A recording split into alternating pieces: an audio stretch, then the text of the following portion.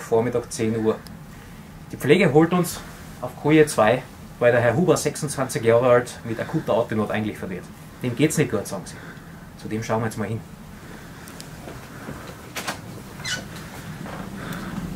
So, grüß Gott, Dr. Hammer, Sie sind der Herr Huber. Grüß Gott, ich bin heute zuständiger Arzt auf der Ambulanz. Meine Studenten sind heute mit dabei. Sie bekommen ja total schwer Luft. Was ist denn passiert? Ich bin, äh, ähm, ich habe einfach plötzlich Schmerzen bekommen und mit der Luft ging es dann auch sehr schlecht. Ja, wie lange geht denn das schon? Oh, seit, ich bin heute, ich bin gereist, Ja. Von woher sind Sie äh, gereist? von Australien, so, Geschäftsreise. ja, geflogen, ja. und Langer danach ging es mir nicht, ja. Und da hat es direkt nach dem Flug angefangen, dass Sie uns so schwer geht. Ja, ich bin eigentlich aus, ausgestiegen und Ja. dann hat es begonnen und Ja, jetzt ist es immer schlechter. okay. Schauen wir gleich drauf, machen gleich einen Ultraschall. Mhm. Wie schaut das bei Ihnen aus? Haben Sie irgendwelche Erkrankungen? Na, ich bin eigentlich sonst gesund. Allergien? Na, nichts Gräser habe ich. Das Rauchen? Ja, Viel? na, ein paar Zigaretten am Tag. Ich schaue mir jetzt erst mal hinten die Lunge an mit Ultraschall, das wird jetzt ein bisschen nass und kalt. Schauen wir jetzt einmal kurz drauf, stellen wir das Bildgut ein. So. Schauen wir kurz einmal drauf, ob da Wasser unter der Lunge zu sehen ist.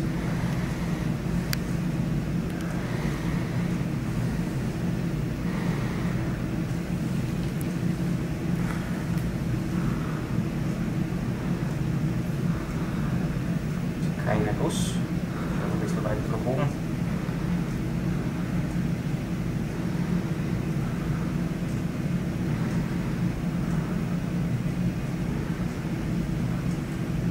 Gute Beweglichkeit der Plauderblätter.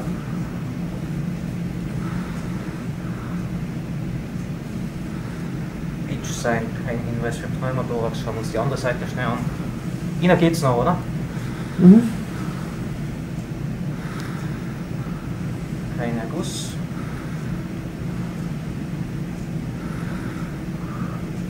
Da Beweglichkeit gut.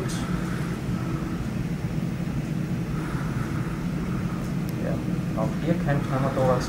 Da würde ich gerne von vorne kurz das Herz anschauen. Warten Sie, kurz auf. So. Jetzt Ihnen, wenn Sie ihn so mit ein bisschen erhöhten Oberkörper mal zurücklegen, Mhm. so ein bisschen retour. Genau, das ist super. Soll ich Ihnen gerade das Leiber laufen. So. Bauchschmerzen haben Sie vorne. Nein.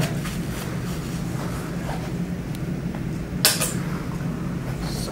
Ich drücke jetzt gerade ein bisschen hinein. Gell?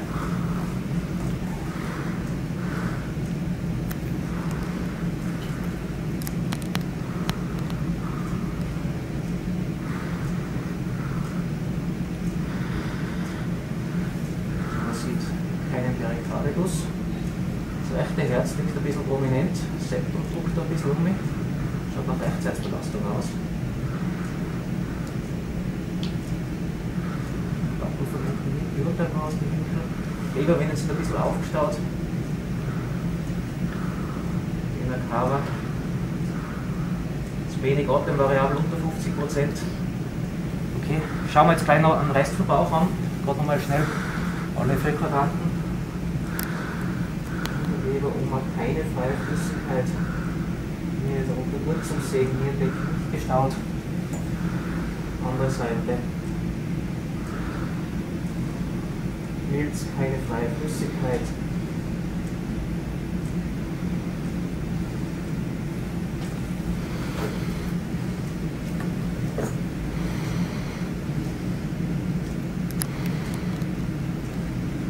Hier Becken nicht gestaut und schaue gerade nach unten drauf.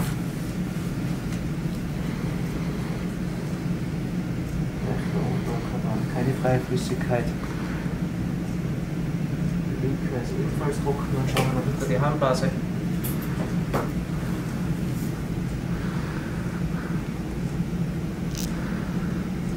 Harnblase moderat gefüllt. Hinter der Harnblase trocken, Blutplasraum ist frei. Okay, Herr Huber.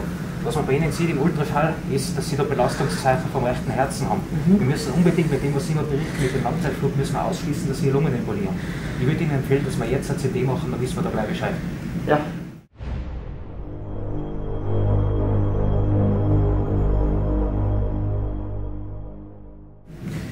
Schönen guten Morgen, willkommen wieder bei unserem Wahlfach Notfallmedizin. Der heutige Blog, wie ihr schon an unserem vorigen Szenario unschwer erkennen habt, beschäftigt sich mit der Notfallsonographie. Notfallsonographie, was heißt das jetzt für euch? Wir werden für euch nicht vollständige Übersicht über sämtliche Sachen, was man in der Abdomensonographie, in der Echokardiographie einstellen kann und alles mit dem Spezialfall machen. Wir machen mit euch wirklich nur übersichtsmäßige Notfallsonographie, wie ihr sie in der Notaufnahme beim kritisch kranken Patienten machen könnt. Da gehen wir mit euch so ein bisschen kurz einstreifen, so was sind so die gängigen Konzepte, E-Fast, Rush, True, Blue Balls, wie sie alle heißen, wurscht. Wir gehen mit euch einfach nur kurz ein, wenn ihr dieses und jenes Organ anschauen wollt, wie stellt ihr das Ganze ein, worauf müsst ihr schauen, was sind so die Schmähs, wie ihr das Bild verbessert? Und wie könnt ihr in kurzer Zeit ein gutes Ergebnis erzielen. Wir gehen mit euch kurz durch, wie macht man zum Beispiel eine Pleurasonographie, wie macht man übersichtsmäßig eine Echokardiographie, übersichtsmäßig Abdomensonographie? Und streifen am Ende vielleicht noch ganz kurz, wie macht man so einen Ultraschall der tiefen Beinvenen.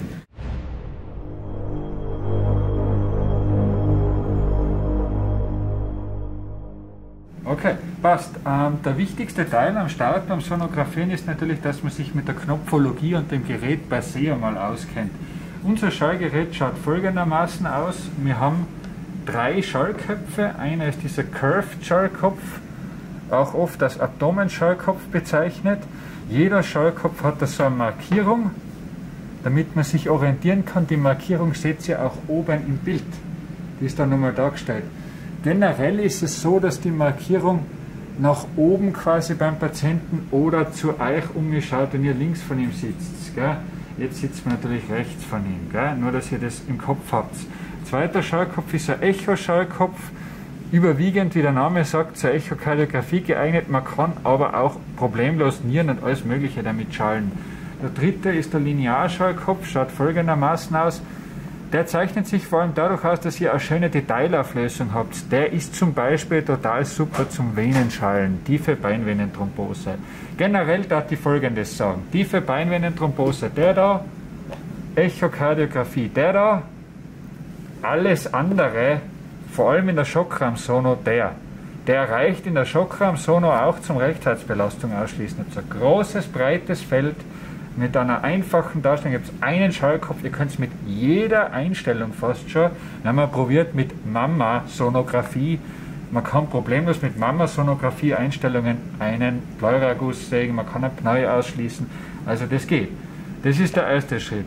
Schallgerät bei uns schaut nun mal so aus, ihr habt unten ein Touchscreen, da kann man zum Beispiel den Schallkopf auswählen. Da seht ihr eh nett dargestellt, welcher Schallkopf welcher ist. Ich meine, das ist jetzt zum Beispiel der Abdomenschallkopf, bleiben wir bei der Einstellung. Und oben habt ihr einen normalen Bildschirm.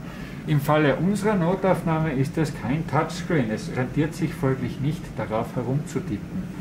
Dann immer noch wichtig zu sehen ist die Knopfologie quasi vom Gerät selber. Die variiert jetzt natürlich von Hersteller zu Hersteller. Im Allgemeinen gibt es aber ganz wenige Sachen, die ihr wissen müsst. Es gibt eine Taste, die müsst ihr immer schnell erwischen. Das ist Freeze.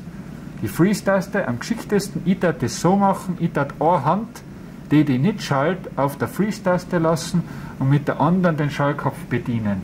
Dann habt ihr nämlich immer die Möglichkeit, schnell das Bild anzuhalten, wenn ihr was ausmessen, wenn ihr was dokumentieren, herzeigen oder sonst was haben müsst. Freeze ist wichtig. Dann hat man oft Tasten zum Bilderspeichern, Acquire 1 bis 3 in dem Fall. Das variiert je nach, wie man es eingestellt hat. Und dann gibt es noch eine zweite Taste, die extrem wichtig ist. Das ist bei dem Gerät diese hier, da steht 2D drauf. Im Allgemeinen ist das eine Taste, die setzt einmal alles zurück. Wenn ihr jetzt irgendwo auf Messen klickt habt und ihr seid irgendwo in einem Menü drinnen, und ihr wisst gerade nicht, Color ist auch an und alles Mögliche und ihr wollt einfach nur zu den Standardeinstellungen zurückgehen, dann drückt ihr auf diese 2D-Taste, das resettet quasi das Gerät. Es gibt noch ganz viel weiteres, was man da einstellen kann. Relevant vor allem ist jetzt diese Color-Taste.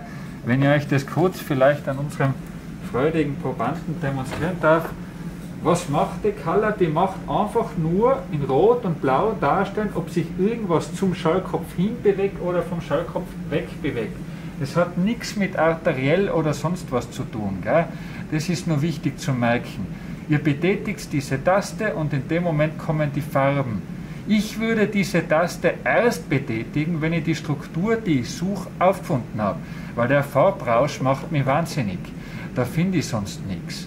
Wenn ich an dieser Taste drehe, kann ich die Intensität der Darstellung variieren. Ihr seht jetzt zum Beispiel, das Gefäß ist jetzt richtig schön dargestellt.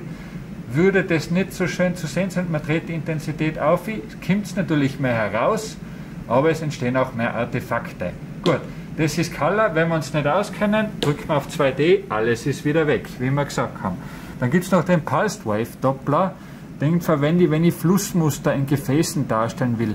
Kein relevantes Element jetzt in den meisten Notfallsonographien und jetzt auch im heutigen Beispiel nicht. Noch einmal, die Taste zum Resetten der Einstellungen merkt euch bitte und die Freeze-Taste messt euch.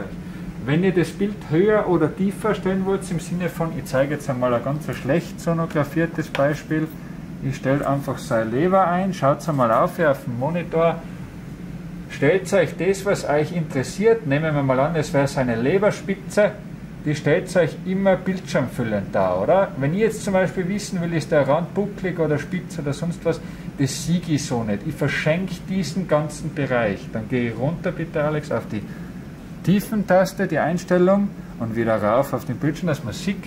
Und dann kann ich, da gehe ich immer in die falsche Richtung zuerst, das ist faszinierend, aber immer der Fall. Und dann kann ich äh, das so einstellen, dass die Struktur, die mich wirklich interessiert, bildschirmfüllend drin ist. Jetzt haben wir das Problem, dass das von der Helligkeit nicht gerade ideal ist. Ich habe jetzt zwei Möglichkeiten. Ich drehe an dieser 2D-Taste rum und stelle mir die Helligkeit ein. Mache ich nicht, wir haben nicht die Zeit dafür ich drücke diese Eiskern-Taste. In dem Moment stellt er mir die Helligkeit ideal ein.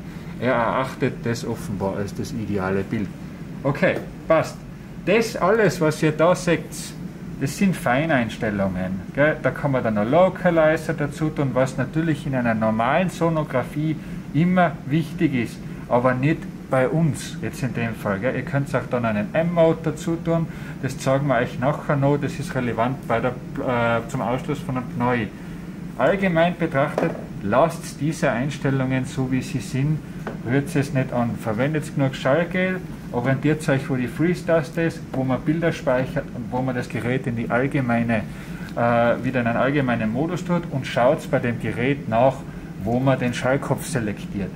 Welches Programm ich dann nimm, Abdomen-Renal, Gefäße, frühe Geburtshilfe, was weiß ich, Darm, ist letztendlich nicht so relevant für die Darstellung in der Notaufnahme.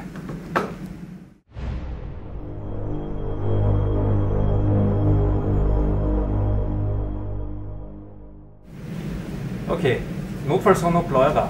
Was kann ich bei einer Pleurasonographie alles darstellen? Was hilft mir da jetzt in Notaufnahme?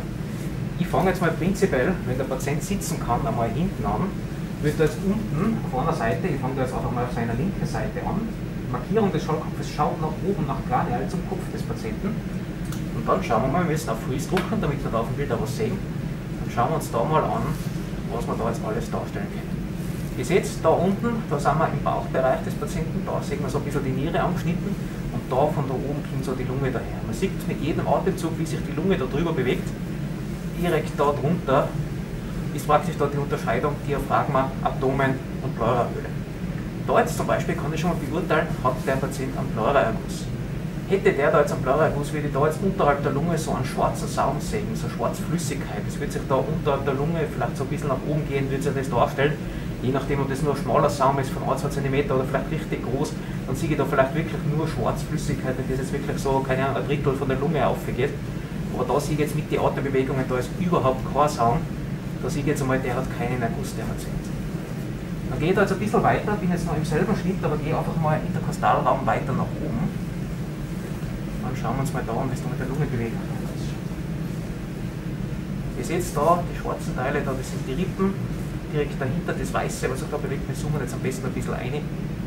Das Weiße, was sich da bewegt, das ist die Pleura. Da gibt es die zwei Blätter, wisst ihr, Pleura parietalis, Pleura visceralis. Und diese beiden Blätter sollten sich eigentlich gegeneinander verschieben, wenn das jetzt wirklich so ist, wie es sich gehört sieht da oben die Thoraxmuskulatur, da oben ist noch die Haut, subkutanes Gewebe und da drunter, das ist alles Lunge. Wenn ich da jetzt so nach unten schaue, kann ich mir da jetzt den M-Mode drüber legen.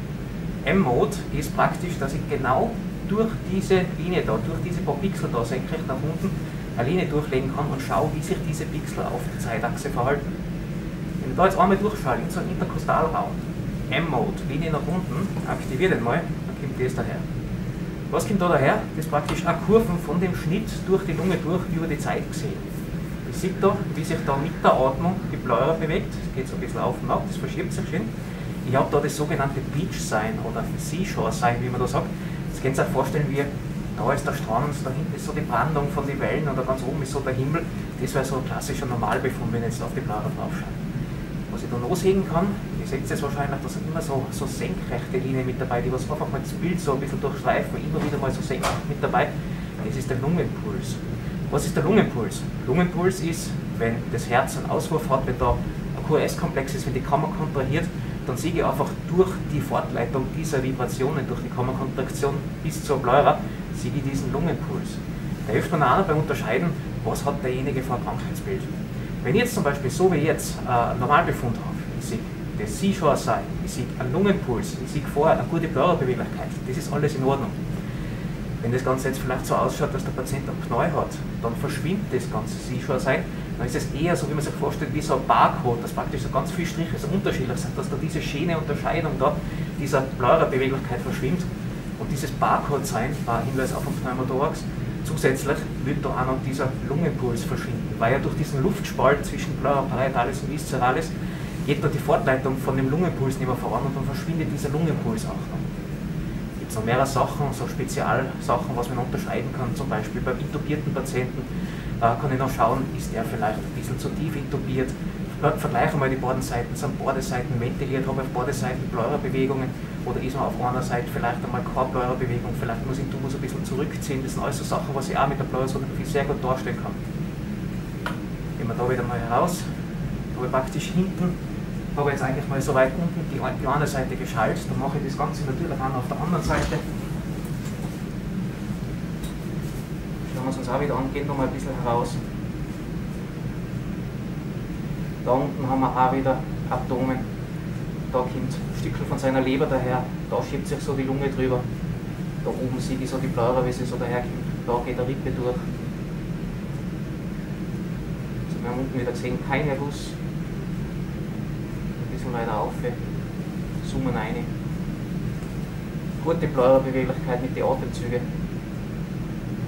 Ihr seht so ganz so kleine, helle, weiße Knoten, was wir da sehen, das ist eigentlich ganz normal.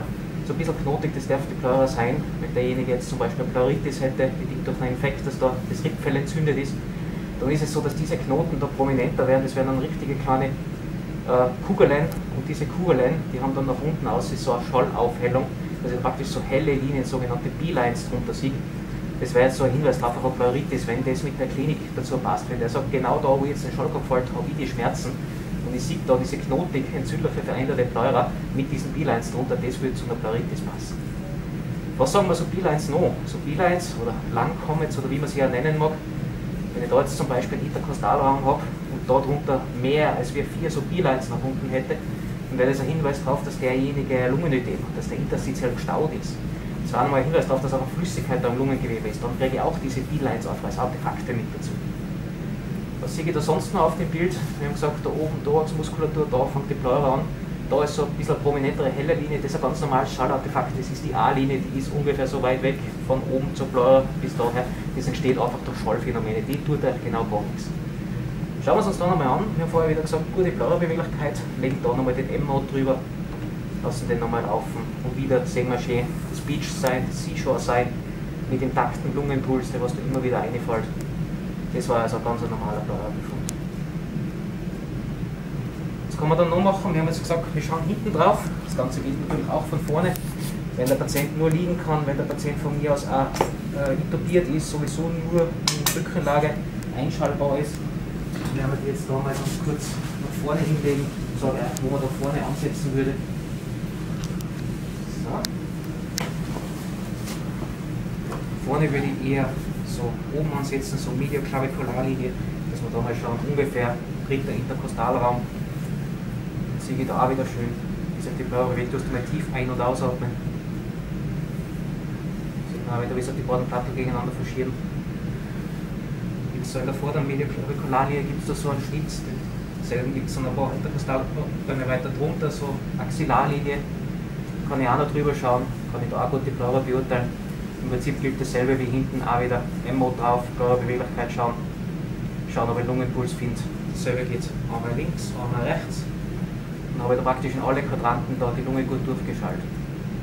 Was kann ich noch sehen in der Pleurasonographie? Äh, wenn ich guter Schaller bin, kann ich zum Beispiel sehen, wenn derjenige, sei es bedingt durch eine äh, Lungenembolie oder auch bei einer normalen Pneumonie, wenn man vielleicht also Infiltrate im Lungengewebe sehen können. Das ist jetzt ein bisschen weiter unten, da unten wird die Leber daher, da oben ist die Lunge. So Infiltrate sind meistens, wenn sie halt eher so nahe am Schallkopf sind, nahe an der Pleura, so ein bisschen basal oder lateral draußen, kann es sein, dass man Infiltrate sehen kann, wenn es jetzt eine ausgeprägte Pneumonie ist. Die zentralen Sachen, die werde ich da jetzt eher nicht sehen. Gut, sonst bei der Pleurasonographie, ich habe jetzt das Ganze mit einem Abdomenschallkopf gemacht. Es geht natürlich auch, wenn ich es mit einem Linearschallkopf mache. Linearschallkopf hat den Vorteil, der Abdomenschallkopf ist eher, eher so ein breiter Kegel, tiefe Eindringtiefe. Linearschallkopf ist da ziemlich schmal, der hat ungefähr die Eindringtiefe von dem Schallkopf selber ein paar Zentimeter und so nach unten, also 5-6 Zentimeter ist er so richtig gut. Für tiefere Auflösungen wird er dann eher ungenau. Das ist ganz fein, wenn ich mir jetzt da wirklich oben nur die Pleura anschauen möchte, dann sehe ich den Linearschallkopf auch sehr gut. Aber sonst ganz generell für alle notfallmäßigen Sachen kann man im Prinzip alles mit einem Abdomenschallkopf machen. Macht man damit nichts falsch.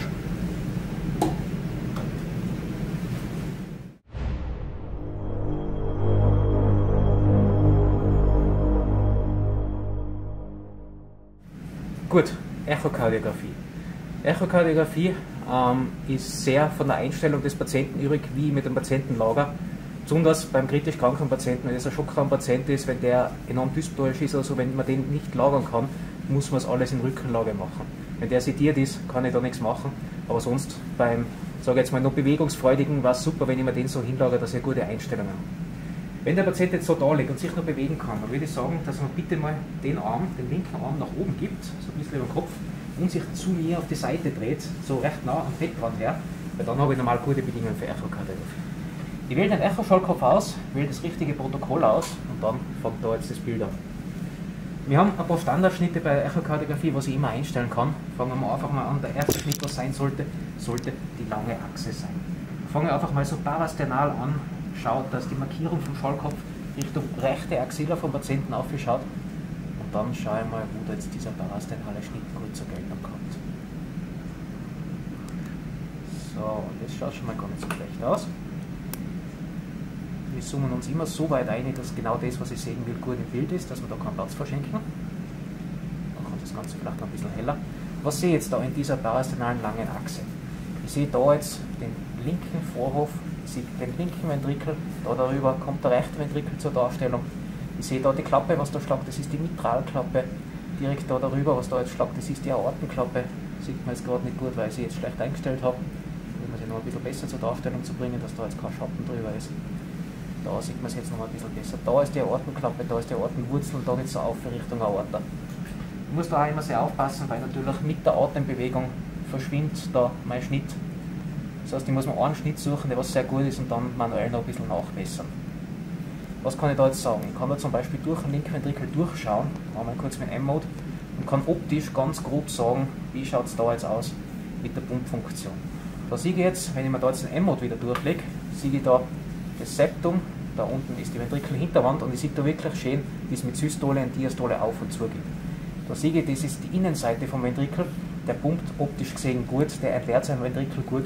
Wenn ich da jetzt zum Beispiel einen habe, der was Zustand nach Reanimation ist oder eine gute Herzinsuffizienz hat oder so, dann wird das eher so schmal bandförmig dahin gehen, weil einfach der Ventrikel nicht ordentlich pumpt. Weil der verminderte EF, also EF heißt Ejektionsfraktion, genau gesagt LVEF, weil es ja um die, des linken Ventrikels geht, wenn der eine verminderte Auswurffraktion hat, dann sehe ich da, dass er da zu wenig pumpt. Ich kann mir da ganz grob anschauen, wie schaut es mit den Klappen aus, lege mal mit Color die Farbe drüber, verbessern wir das Fenster, dass das halbwegs gut im Bild ist. Und dann kann ich da zum Beispiel schauen, hat der relevante Mitralinsuffizienz, sehe ich da jetzt irgendwo ein Zeichen der Insuffizienz, dass da zum Beispiel beim Schluss der Klappe so ein kleiner Jet hinten nach hinten geht, das war so ein kleiner retrograder Fluss im Sinne einer Insuffizienz. Das kann ich ganz grob schauen. Es ist natürlich was anderes, wenn ich jetzt professionelles Echo mache, in einer geschützten Umgebung, wo ich alle Zeit der Welt habe, wo ich mir es gut einstellen kann. Aber so notfallmäßig schaue ich jetzt einfach nur ganz grob drauf, schließt die Klappe einigermaßen oder habe ich da Relevanz Vizium? Ist da vielleicht irgendwo ein Klappenfaden abgerissen, weil der jetzt einen Myokardinfarkt hat? So Geschichten, aber nur ganz grob, einfach mal optisch die Klappe beurteilen. Schauen wir weiter auf zu einer Ortenklappe.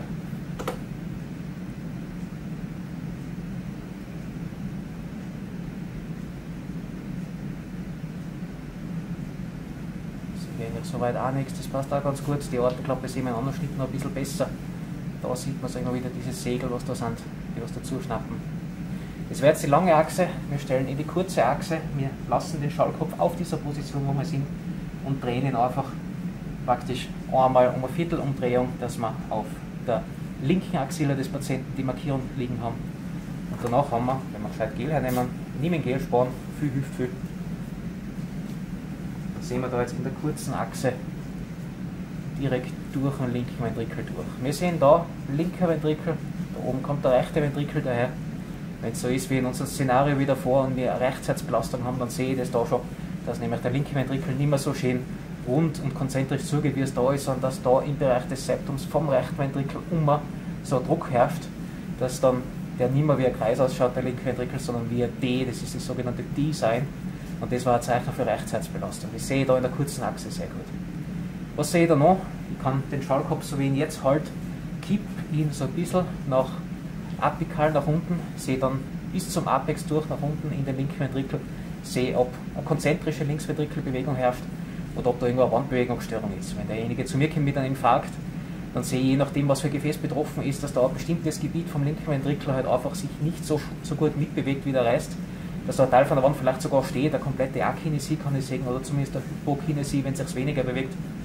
Und schaue das praktisch von unten, von apikal, weiter nach oben, ich kippe jetzt den Schallkopf wieder weiter nach oben, wieder weiter Richtung Herzbasis.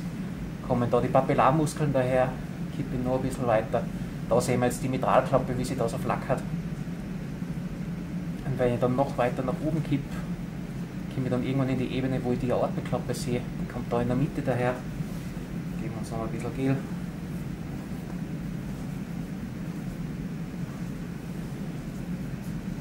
nach oben, nach oben, da sind wir gut. Da sehe ich jetzt da in der Mitte die Aortenklappe, darunter ist noch der Rest vom linken Ventrikel. Da drüben sind wir schon im rechten Herz, rechter Vorhof, rechte Kammer, rechtsventrikulärer Ausflusstrakt. Und genau da in der Mitte sollte die Aortenklappe zu sehen sein. Wenn die Aortenklappe Trikuspid ist, mit drei Segeln, so wie sie sein sollte, dann sollte da eigentlich so ein Phänomen wie so ein Mercedes-Stern zum Sehen sein. Da haben wir es jetzt mal kurz gesehen, da sehen wir, dass praktisch alle drei Segel schön in der Mitte schließen. Da haben wir es nochmal ganz gut, wie dieser Mercedes-Stern. Die Sieg, die Klappe schließt perfekt. Halt mal kurz mal den Farb drüber. Sie hat drei Segel, schließt komplett zu. Die Segel sind nicht verkalkt. So mal gut, da drüben sehe ich die Trickhospitalklappe legen wir schnell die Farbe drüber, kann auch wieder schauen, ist da relevante Insuffizienz. Ich sehe da keine. Sind natürlich noch jede Menge Spezialuntersuchungen, was man da genau machen kann, dass ich zum Beispiel über die Trickhospitalklappe den Druck im rechten Kreislauf feststellen kann. Kann ich so einen kalkulierten Lungendruck berechnen, aber es geht dann eher schon ein bisschen ins Speziellere. Kann da hinten oben noch ganz klar und weiß sieht man da immer wieder mal kurz die Pulmonalklappe, wenn ich gut dazu sehe, meistens ist die von den Klappen eher noch schwer zum Einstellen kann ich mal schauen, ob da eine Insuffizienz ist, kann sich ausmessen Richtung Stenose, aber das wäre jetzt eigentlich alles auch wieder eher Richtung Spezialschall. Ganz grob, die Sachen, was ihr da jetzt sehen wollt, habe ich in der kurzen Achse eigentlich gesehen. Das heißt, wir gehen als nächstes Richtung apikal weiter.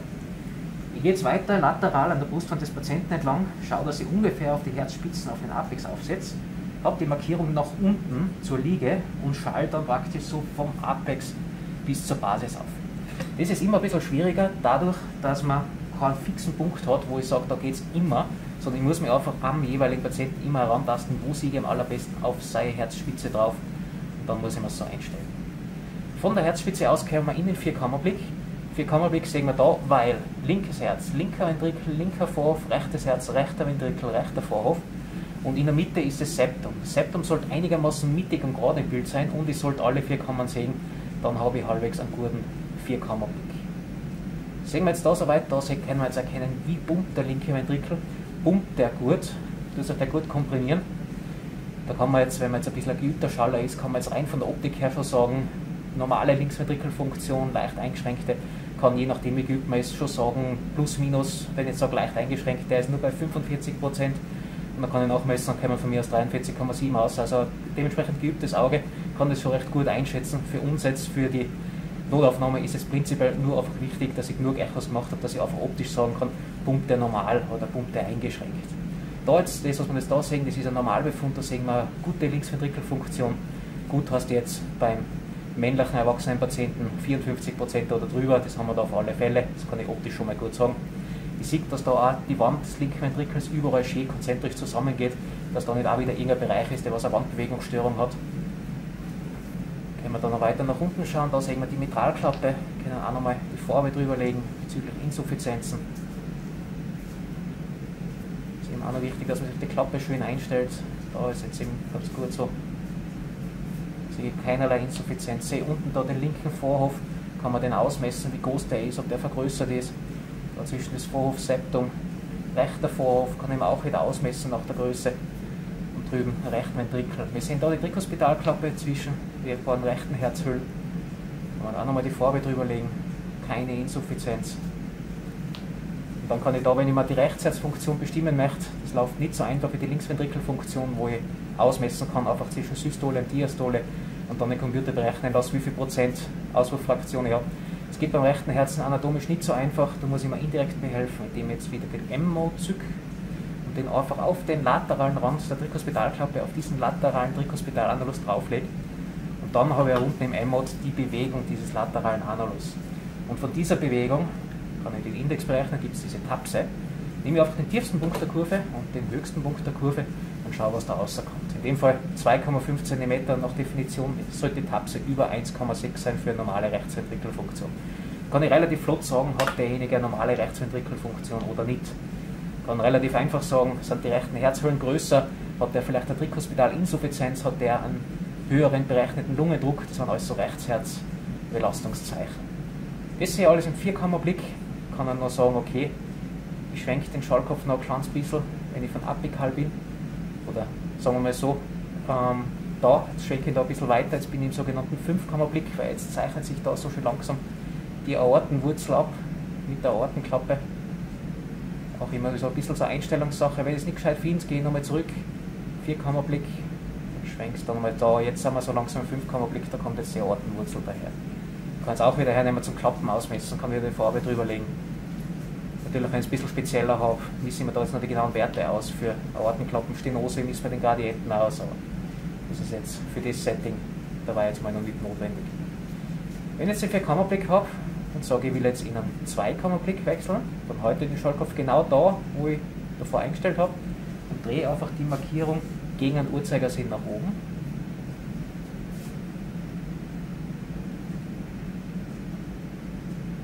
Kannst du die vielleicht noch ein bisschen zu mir auf die Seite legen? So ist sehr gut. Dann wir es nochmal einstellen. So, also gegen einen Uhrzeigersinn nach oben dran natürlich anatomisch immer wieder ein bisschen anders, ob sich das Ganze ausgeht. Nehmen wir es ein bisschen weiter lateral, so am ehesten. Dann habe ich dann zwei Kammerblick, da habe ich dann nur das linke Herz, den linken Ventrikel und den linken Vorhof drauf und die Mitralklappe. Kann da auch wieder optisch sagen, hat der gute Pumpfunktion, hat der vielleicht Bandbewegungsstörungen, da ich die Hinterwand ganz gut vom Herzen. Und wenn ich jetzt nur ein bisschen weiter drehe, komme ich in den Dreikammerblick, weil dann kommt da langsam die Aortenwurzel mit der Aortenklappe daher habe ich da praktisch drei Kammern, linker Vorhof, linker Ventrikel, Aortenwurzel mit Aorta dahinter. Das wären so drei Kammern, wo ich auch nochmal die Farbe auf die Klappen drauflegen kann. Dann sehe ich da auch gut dazu. Wenn ich da jetzt soweit apikal alles gesehen habe, wäre mein nächster Schritt, dass ich vom Subkostal drauf schaue, dafür legt sich der Patient wieder auf den Rücken hin. Subkostal ist mein Go-To-Schnitt, wenn jetzt der Patient so oder so sich nicht bewegen kann, nur auf dem Rücken liegt. Dann schaue ich einfach mal, indem ich da aufs Epigastrium mit ein bisschen Druck drauf schaue, Markierung schaut zu mir, dann sehe ich da oben schon die Leber im Bild und da drunter kommt der Herzbeutel mit dem schlagenden Herz drunter zur Geltung. Da kann ich mir jetzt anschauen, wie schaut der Rand aus, haben wir da einen Perikarderguss, ist da so ein schmaler schwarzer Saum oder ist der vielleicht schon ein bisschen breiter? Kann man einen Guss ausschließen, da sehen wir jetzt einen ganz trockenen Herzbeutel, da sehe ich wirklich nur das Perikard. Ich sehe oben die rechten Herzhälften, rechter Vorhof, rechter Ventrikel, unten linker Ventrikel, linker Vorhof, da würde ich auch sagen, wenn jetzt da Rechtsherzbelastung ist, würdest du auch wieder das Septum Richtung Linkventrikel verschieben und nicht große Rechtsherzabschnitte. Ich kann da ein bisschen weiter schwenken, indem ich da jetzt weiter Richtung Leber umschwenke. Bin ich genau da, wo die Vena cava inferior in den rechten Vorhof hineingeht. Sehe, wie breit ist sie, kann sie entweder ausmessen, indem ich auf Freeze und mit Mesher gerade mal schnell den Durchmesser ausmesse, ungefähr einen Zentimeter unterm Herzen bis 2 cm ist in Ordnung. Wenn es ein junger, gesunder, großer Sportler ist, kann er auch mal 2,5 cm haben, ist wurscht. Wenn sie breiter ist, wird das eher einen Hinweis darauf geben, dass da nach hinten ein Rückstau entsteht. Dadurch würden auch dann passend die Lebervenen sich verbreitern. Wenn die Lebervenen so wie jetzt schön schmal sind, unter einen Zentimeter, dann passt das alles gut. Aber wenn sich die auch anfangen aufstauen und die oben schon recht ein breites rechtes Herz haben, dann war das auch ein Hinweis auf Rechtsherzbelastung. Was kann ich da noch machen? Ich kann einen M-Mode drüberlegen, wenn ich es genau wissen möchte, auf die Vena cava inferior. Man lässt den Patienten dann ein- und wieder ausatmen. Man sieht da im Bild schon mal ganz gut, die geht fast komplett zu beim Einatmen, also da ist kein Hinweis für Stauung. Ich sehe, wenn sie ungefähr 50% variabel ist zwischen Ein- und Ausatmen, dann war das eigentlich eine gute Beweglichkeit von der Vena cava und kein Hinweis für Aufstauung von dem Gefäß. Dann von unten kann ich gegebenenfalls, wenn ich dazu sehe, muss ich einfach schauen, kann ich vielleicht die Trikospital und die Mitralklappe nochmal kurz mit Farbdoppler begutachten. Je nachdem, wenn ich jetzt von apikal nicht dazu sehe und von oben kann ich nicht, dann schaue ich mir das von unten an, soweit es halt geht und wenn es nicht geht, dann geht es halt nicht. Und dann, wenn ich unten fertig bin, schaue ich vielleicht noch einen Blick aufs Jugulum, weil das dann eigentlich auch immer, egal ob jeder Patient beieinander ist, dass ich den Schallkopf mit der Markierung nach oben auf 12 Uhr, vielleicht ein bisschen nach rechts gerät, bis auf 1 Uhr draufhalte. Und dann sehe ich oben, wenn ich aufs Jugulum drauf schaue, dass da der Aortenbogen gut zur Geltung kommt. Geht praktisch von so unten so der Aortenbogen da herauf. Ich sehe da oben diese Abgänge, Truncus brachycephalicus. Ich sehe da die Karotis, die Subclavia und da geht es weiter nach unten. Und direkt unter dem Aortenbogen sollte dann eigentlich auch noch die rechte Pulmonalarterie daherkommen. Die kann ich dann noch ausmessen und kann sagen, okay, unter 2 cm ist sie in Ordnung und sonst wäre sie per se verbreitert, wenn da auch wieder eine Belastung des Lungenkreislaufes vorhanden ist. Jugulum ist immer ein bisschen schwierig zum Einstellen bei vielen Leuten. Bei manchen schaue ich drauf und sehe genau gar nichts, bei anderen wiederum, da wie da jetzt, sehe ich eigentlich ganz gut den kompletten Aortenbogen mit den drunterliegenden Gefäßen. Also muss ich immer schauen. Wenn ich dazu sehe, ist es okay und wenn nicht, dann nicht. Kann man da zum Beispiel auch denken, okay, ist im Aortenbogen, wenn ich jetzt Richtung Dissekat denke, flattert da jetzt irgendwo die Dissektion da durch, geht die vielleicht irgendwo Richtung Karotiden auf. Bei der Sektion würde ich immer noch schnell den Schallkopf nochmal schnell auf die Karotiden aufhalten, damit ich sehe, ob da oben sich irgendwas abgelöst hat. Das sind so die Sachen, wo ich jetzt mal echt akut schauen würde, dass ich das zusammenbringe.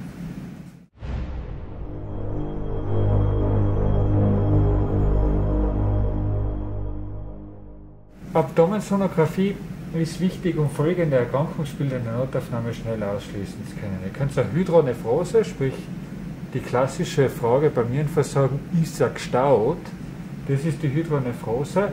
Das könnt ihr ausschließen. Ihr könnt, wenn ihr Leberfunktionsparameter, Transaminasen als welche Erhöhung seht, Cholestaseparameter von, könnt ihr eine Cholestase ausschließen, und zwar intravie extrahepatisch.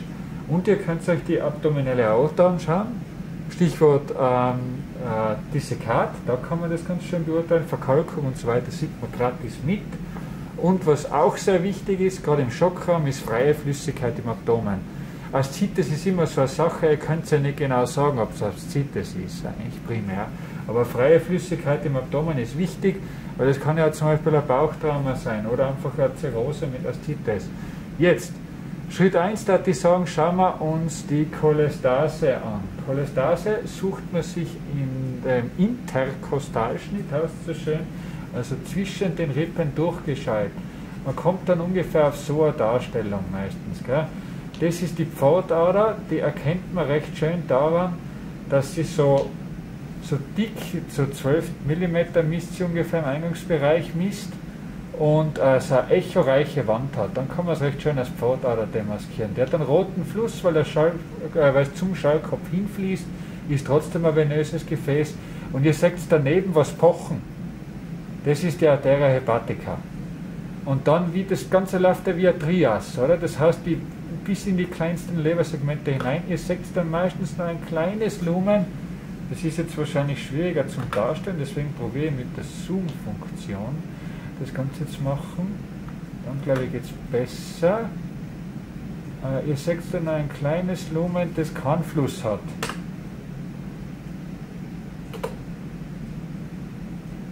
Das ist der Ductus, also der DHC einfach, der Hepatocholericus hepaticus communis. Ähm, der sollte nicht erweitert sein. Was heißt erweitert? Erweitert heißt extrahepatische Cholestase und erweitert ist es, ab dem er 6 mm weit ist.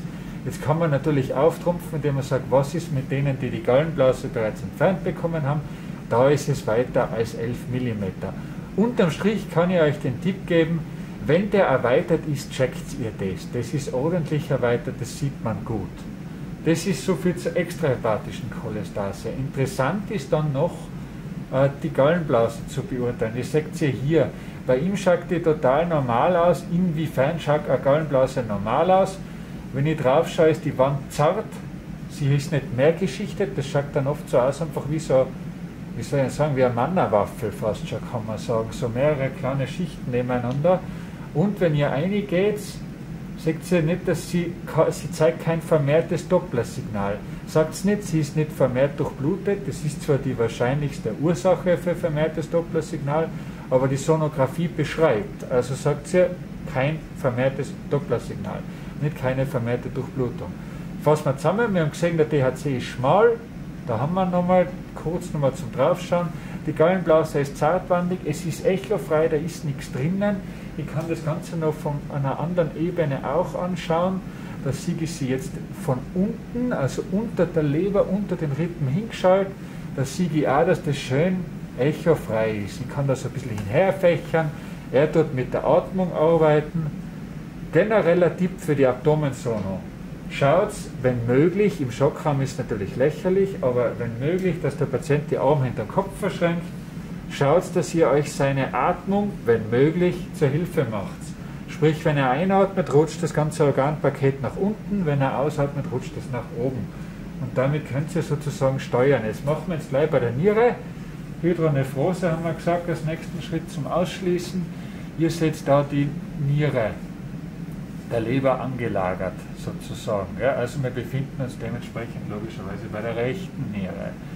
Ähm, Jetzt ist es so, wenn die jetzt gestaut wäre, die Niere, dann würde da, das sagt, also in Deutschland glaube ich sagt man Blumenkohl, wir sagen Karfiol, äh, das soll eine Erweiterung sein, so schwarze, weite, flüssigkeitsgefüllte Räume. Man sieht das sehr schön, wenn es tatsächlich der Fall ist. Bei ihm ist es nicht der Fall. Ihr seht, das ist alles schön, da außen die Rinde, da schon die Mar das Mark mit ein paar so vereinzelten äh, Strukturen, die man drinnen sieht, Flüssigkeit völlig in Ordnung. Keine Steine, die werden jetzt echoreich, echo ganz hell mit dem Schallschatten werfend, sieht man auch keine. Jetzt zeige ich euch das nur mit der Atmung, tun wir mal einen Gefallen und atme mal ein volle. Ihr seht, ich bin jetzt verblieben im Schallkopf und das ist nach unten gerutscht, das ganze Organpaket. Wenn ihr jetzt voll ausatmet, macht das mal bitte, dann rutscht es nach oben. Nutzt das, dann könnt ihr euch das ein bisschen einstellen. Jedes Organ schaut sich zudem in zwei Ebenen an. Jetzt, das heißt, ihr fächert es einfach kurz nochmal durch und schaut es einfach nach oben und unten durch. Nieren gibt es zwei an der Zahl. Man sollte die zweite auch finden können. Die ist da. Milz, oder? Drunter die Niere. Jetzt habe ich zu wenig Schallgeld drauf, wie natürlich zu erwarten. Ich rede ein bisschen auf die Seite und wenn es geht, gerade kurz bitte, dann komme ich schöner hin. Er ist jetzt natürlich compliant und man kann ihn bitten, dass er sich wohin dreht und schaut. Das ist natürlich sehr angenehm, das hat man im Chakra nicht den Luxus. Zweite Niere, selbes Spiel. Da sieht man es ein bisschen betont, aber im Schnitt ist es auch nicht gestaut. Und was ihr auch wieder seht, ich stelle mir die Tiefe so ein, dass das, was mich interessiert, bildschirmfüllend ist. Und fächer ein bisschen durch. Okay, passt. Jetzt haben wir gesagt, er hat keine Cholestase und wir haben gesagt, er hat keine Hydronephrose. Guter Start. Was wir uns jetzt auch noch anschauen, ist, ob er Aszites hat. Wo sieht die Aszites? Er liegt, also wird sich die Flüssigkeit, oder sagen wir besser freie Flüssigkeit, dort sammeln, wo sie Platz hat und nach hinten rinnen kann. Das ist der Collar und der Morrison Pouch. Muss ich schauen, dass ich es nicht verwechsel. Das ist der Morrison Pouch neben der, zwischen der Leber und der Niere. Dieser Raum, der ist quasi fiktiv. Da sollte nichts sein. Wenn da Flüssigkeit drinnen wäre, freie Flüssigkeit, hättet ihr wie ein Palbalken, eine, eine schwarze Schicht dazwischen. Und das Leberende schwimmt dann oft so frei drinnen. Das ist der erste. Dann haben wir den Collar Pouch. Das sind wir wieder drüben bei der Milz, oder? Das ist der Raum zwischen der Niere und der Milz. Auch da, wir sehen da keine Flüssigkeit drinnen. Auch ausgeschlossen. Dann schauen wir den Unterbauch beidseitig an. Das funktioniert so, dass Sie den Darm gasgefüllt, bewegend, Peristaltik und dergleichen, subkutanes Fettgewebe, Muskulatur sieht. Ich kann mir das ein bisschen schöner einstellen, weil ich viel Platz verschenkt habe, aber auch da kein schwarzer Balken.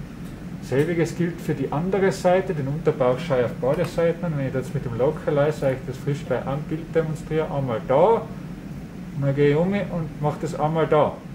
Und dann muss ich natürlich den bei Frauen Douglas-Raum, beim äh, Mann Recto Vesicalis anschauen. Das ist sprich einfach der Raum zwischen der Blase und dem Darm und Uterus, nach. Äh, ich suche da seine Blasen auf, insofern die voll ist. Jawohl, bitte verzeih, dass ich mich da recht südlich bewege. Sie die Prostata vom Kollegen. Aber auch da, da ist keine Flüssigkeit in zwei Ebenen, da ist keine Flüssigkeit, außer in der Blase natürlich, da darf es ja sein. Ist völlig in Ordnung. Okay, also keine Cholestase, keine Hydronephrose, keine freie Flüssigkeit. Was braucht man vielleicht noch schnell? Man schaut sich noch die Aorta an. Jetzt gehe ich mit der Tiefe wieder ein bisschen außer. Natürlich massiv Darmgas drinnen. Dann komme ich ungefähr auf so eine Einstellung meistens. Da sehe ich, das ist die Wirbelsäule. Das heißt, das ist die maximale Eindringtiefe, die ich brauche. Dahinter ist nichts mehr Interessantes für mich in der Einstellung. Das heißt, ich kann gleich schon mal so reingehen. Dann habe ich zwei Gefäße. Die Schallkopfmarkierung habe ich da. Das heißt, allein anatomisch könnte ich schon mal wissen, welches welches ist. Insofern ich mir unsicher bin, lege ich einen Doppler rein, dann sehe ich die Bewegung. Das schaut ziemlich venös aus, das schaut eher arteriell aus. Das heißt, ich nehme dir das an, dass es die Aorta ist. Genauso ist es auch. Kann das dann noch einmal ein bisschen feiner einstellen von der Eindringtiefe. Und jetzt stelle ich sie mir, immer wenn ich was in zwei Ebenen darstellen will, tue ich mir es in die Mitte vom Bild ein und dann drehe ich den Schallkopf um 90 Grad, dann habe ich das schön der Länge nach dargestellt. Hätte er jetzt da ein Aneurysma oder ein Dissekat, was er erfreulicherweise nicht hat, dann würde man das da drinnen sehen. Das ist eine eigene neue Schicht drinnen. Manchmal flattert die dann so drinnen, man sieht das richtig gut. Man kann da nochmal einen Doppler reinlegen, wenn man sich nicht sicher ist, ob man tatsächlich in der Arterie ist. Gut. Das sind so die Sachen, die ihr in der Abdomensonographie akut ausschließen können müsst.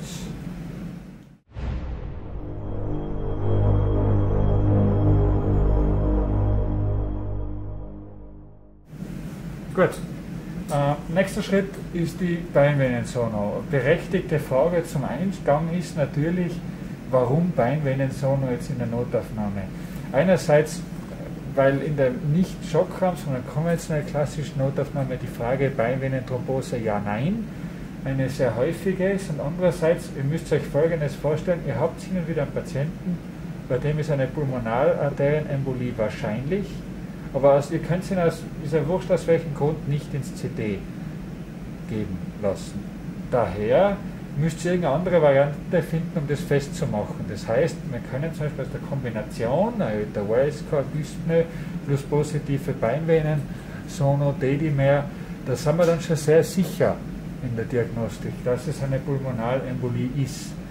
Ähm, in der Notaufnahme schauen wir uns die Beinvenen von der Krosse, zeige euch diesen Label kurz rein. Das heißt, von da oben bis zur Poplitea, da unten schauen wir uns an, diese Strecke, das ist die proximale Beinvenenthrombose. Alles darunter macht man in der Routinediagnostik. Das heißt, wenn ich in der Notaufnahme den sieht, das schließe ich aus, für das verweise zum Radiologen, sonst in den nächsten Tagen, es hat nicht so eine Eile. Das gehört ausgeschlossen, das ist problematisch. Und wie schließt man das aus? Relevant, ich zeige euch jetzt, wir befinden uns jetzt in der Leiste unseres Kollegen. Äh, wir sehen da die Gefäße und wir können, das Relevante zum Ausschluss der Beinenthrombose ist der Druck, die Kompression. Ihr müsst darstellen, dass das Gefäß voll komprimierbar ist. Jetzt gibt es mehrere Varianten, wie das macht. Entweder ihr macht dann ein Video, um das darzustellen. Ich persönlich finde folgende Variante recht anschaulich. Gibt so eine Dual-Funktion bei den Schallgeräten. Dann könnt ihr da links das Bild, wenn die Vene voll entlastet ist, sozusagen darstellen und dann rechts mit Druck. Hätte eine Thrombose, hättet ihr jetzt zwei Dinge, die ihr sehen würdet. Einerseits ließe sich das Gefäß nicht komprimieren Der Arterie hingegen ist es vollkommen wurscht, dass ich komprimiere. Und andererseits hätte er Schmerzen an der Stelle. Er würde euch das sicher sehr schnell kundtun. Und dann verfolgt sie diese Gefäße einfach. Ich gehe wieder nach links, nach unten und ich schaue immer, ist es komprimierbar. Das heißt, ich mache mal ein Ausgangsbild, komprimiere. Und das mache ich alle paar Zentimeter. Relevant ist nicht, wenn ich jetzt da zum Beispiel, da sieht man es jetzt so schön, da zeige ich es euch jetzt, wenn ich da einen Doppler reinlege, dass ich irgendwelche Flüsse miss oder sonst was, das ist nicht relevant. Relevant für die Notaufnahme, für die Detektion der tiefen Beinvenenthrombose ist die Komprimierung, die Komprimierbarkeit der Vene. Und da hangelt ihr euch der Innenseite des Oberschenkels entlang. Ihr seht immer arteriovenöse Kopplung, oder? Das ist bekannt, glaube ich, das System. Hangelt ihr euch entlang. Ich mache das jetzt ohne jetzt mal den Dual Mode einzuschalten bis zur Poplitea. Bei der Poplitea, respektive einfach gesagt Kniekehle, bittet sie ihn, das Bein aufzustellen, nicht zu fest, weil sonst kommt zum Schallkopf wieder nicht eingehen. Und dann probiert es, gut, weiter ausstrecken, bitte. Gilt wieder selbiges Prinzip. Unterstützt, ich fahre rein, ich sehe wieder arteriovenöse Kupplung. Es ist jetzt nicht die wunderschönste Darstellung, ich bin mir dessen bewusst. Aber es erklärt das Prinzip. Ihr seht, wenn ich da einen Pfeil habe, Ihr seht da ein venöses Gefäß, ich drücke zu, es ist weg. Damit ist da keine Thrombose drinnen. Das ist das Geheimnis der Beinvenensonographie in der Notaufnahme.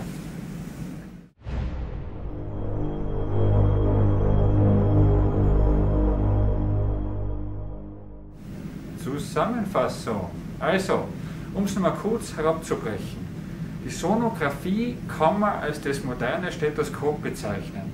Es ist sauberer, man kann die Leute effizient einlernen, man macht reproduzierbare Ergebnisse, man kann diese Bilder auch herzeigen für Zweitmeinung und äh, ist einfach im Allgemeinen präziser und vielseitiger unterwegs. Was kann man nochmal sehen? Fassen wir es nochmal kurz zusammen. Ihr könnt die Lunge sehr gut beurteilen. Ihr könnt sehen, hat jemand einen Pneumothorax. Ihr könnt sehen, ist jemand gestaut hat er Pleuraergüsse. Ihr könnt euch das Herz anschauen, ganz gut. Da sieht man regionale Wandbewegungsstörungen oder auch Rechtsherzbelastungszeichen. Dissekate lassen sich gut darstellen. Diese Dissekate kann man entlang der Aorta anschauen natürlich. In der Abdomensonographie seid ihr in der Lage, Hydronephrosen auszuschließen, eine wesentliche Differentialdiagnostik beim akuten Nierenversagen. Ihr könnt den Aszites beurteilen, ob der ausgeprägt ist, ob er punktionswürdig ist.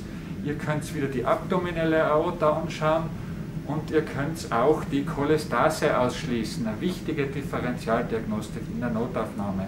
Weiters könnt ihr sonografisch sehr schnell äh, Beinvenen kontrollieren. Gibt es eine Thrombose? Kann man bei jemandem, der zum Beispiel kein CT machen kann, der Niere wegen und der aber Atemnot hat und man sieht dann eine Thrombose, hat man die Diagnose quasi schon festgestellt. Also, noch einmal um den Bogen zu unseren vorigen Teilen zu spannen, im Schockraum und in der Notaufnahme gibt es drei wichtige Diagnostika, EKG, Blutgasanalytik, haben wir letzte Woche gemacht und was wir heute gemacht haben, die Notfallsonographie. Nützt es, setzt es ein. In diesem Sinne wünsche ich euch noch einen schönen Tag, wir sehen uns nächstes Mal.